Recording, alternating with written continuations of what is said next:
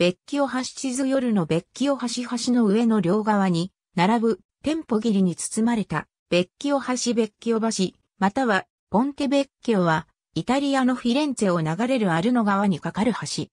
イタリア語で、古い橋の名が示す通り、フィレンツェ最古の橋であり、先の大戦を生き延びたフィレンツェ唯一の橋である。河川の氾濫などで何度か建て直されており、現在の橋は1345年に再建されたもの。橋の上に宝飾店が立ち並んでいることで知られる。プッチーニのオペラ、ジャンニスキッキのアリア、私のお父さん、お父様にお願いで、娘のラウレッタが、お父さん、もし、リヌッチョと結婚できないなら、私、ポンテベッキオからアルノ川に身投げしてしまうからと、脅すのでも有名で、フィレンツェの代表的な観光スポットになっている。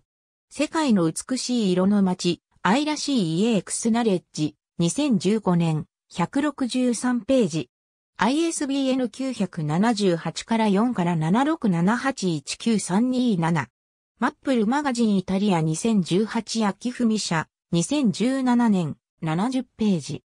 ISBN 978から4から398281784。西崎リオ。フィレンツェの奇跡。個性的な外観の別記オ教の秘密。ゴトリプ。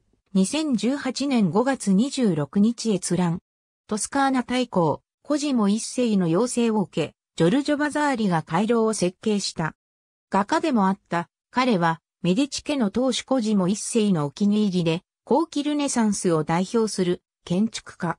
わずか5ヶ月という短期間で完成したという。ありがとうございます。